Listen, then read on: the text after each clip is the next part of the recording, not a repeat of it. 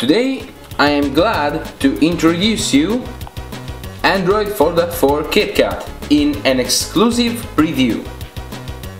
So, basically this is just the officially released source code compiled by Paranoid Android team.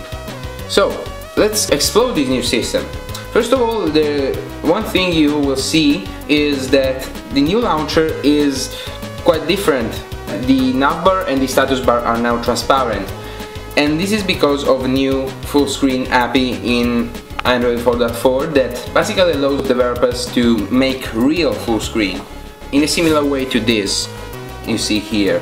So, um, you see we have just one page and if we swipe right we have Google Now if it is configured and if we want to add more pages we just have to move an app to the side and a new page is created you see here since this page only contains one element we cannot create a new screen we have to do this before so that people don't create blank on screens.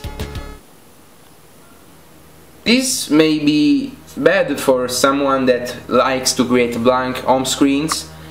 I personally don't like them, so it's fine for me.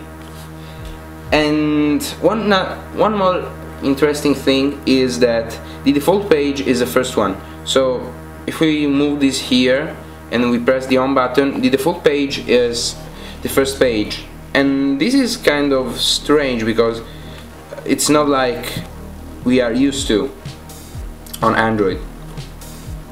So the drawer is pretty simple. It is no, it is semi-transparent. Lets you see the wallpaper.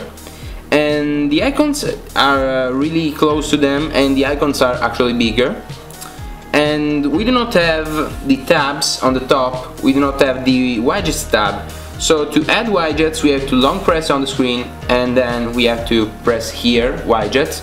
And we have a similar interface to Jelly Bean ice cream sandwich. So we have a widget drawer nothing much has changed here.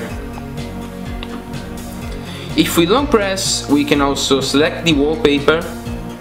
You see here we have the default wallpapers and the live wallpapers. And at last we have the default wallpaper. So if I press here I have the again the wallpaper app of the AOSP launcher that is installed as well on this preview.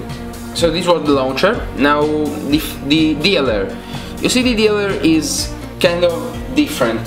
Actually it is completely different. You see if we tap here we can uh, we can now write the name of the contact we want to we want to call.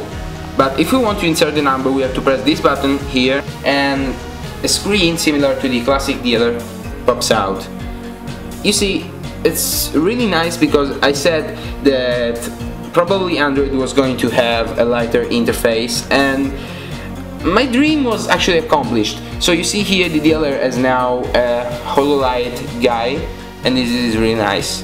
If we want to see the history we have to press this button here that is not actually that convenient but I suppose I'm going to get used to it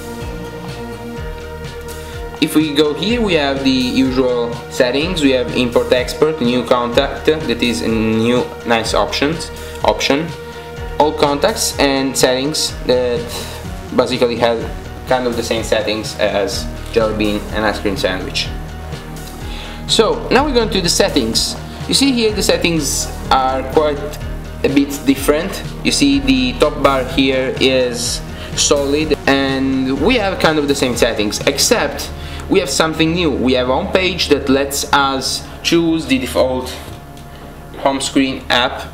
Then we have touch and pay that is basically kind of evolution of Google Wallet I live in Italy and it, I don't think this is supposed to work in my country so if I press more info it just doesn't work moreover we have print the print option but we have no service installed yet for printing. I suppose I have to install Quickoffice or Google Drive to make this work.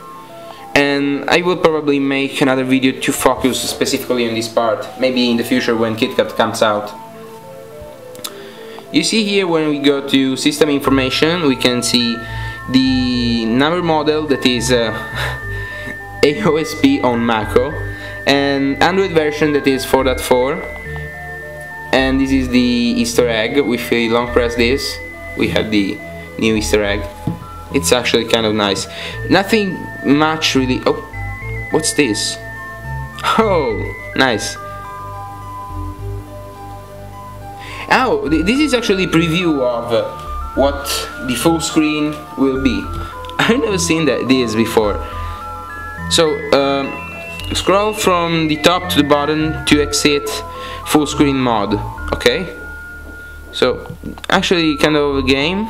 We have the new we can see the new full screen mode you see this is disabled and we, can just press home button to get back to home.